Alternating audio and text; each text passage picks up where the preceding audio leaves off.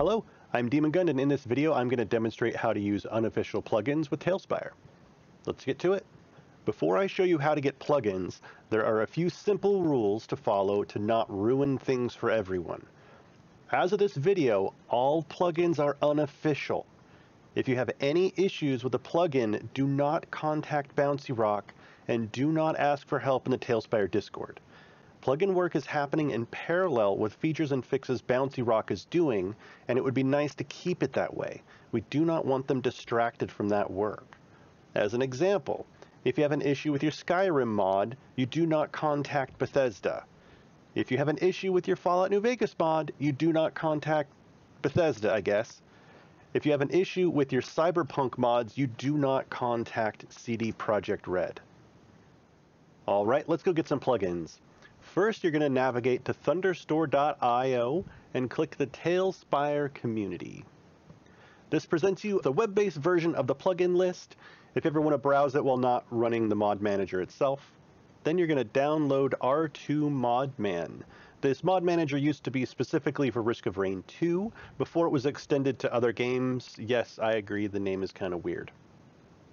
Your manual download.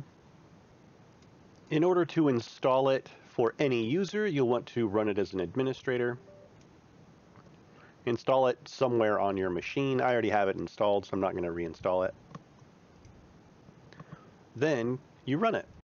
If you want to run TaleSpire with your mods installed, remember you're going to have to run it from the mod manager. The R2 mod manager should already detect that you have TaleSpire installed, so go ahead and select it. And with R2 Modman, it allows you to have various profiles set up.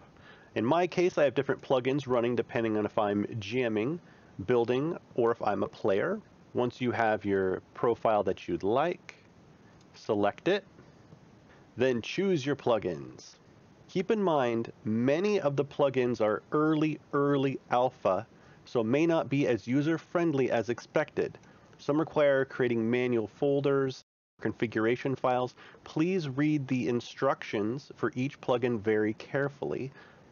The documentation is present, usually on the mod page as well as the GitHub page. So far I have offered two bounties in the mod community, and both were completed by Hollofox.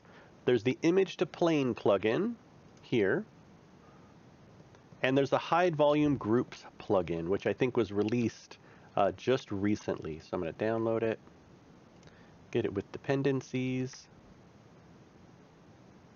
And we'll go ahead and start it.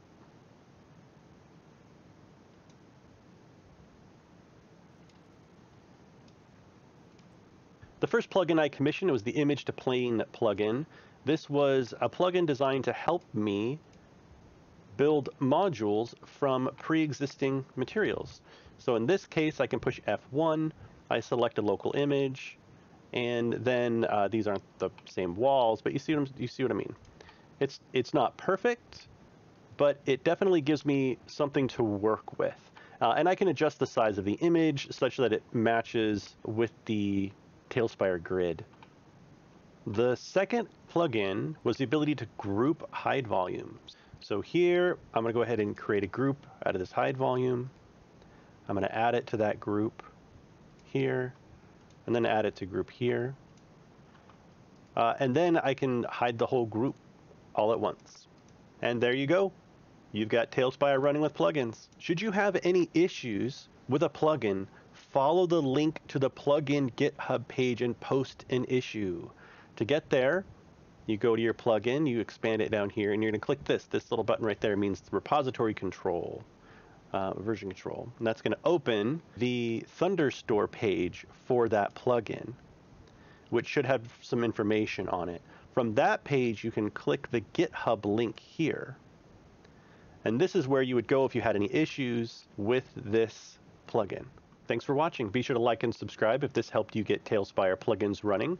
I'm really excited about the future of modding in TaleSpire. Take care.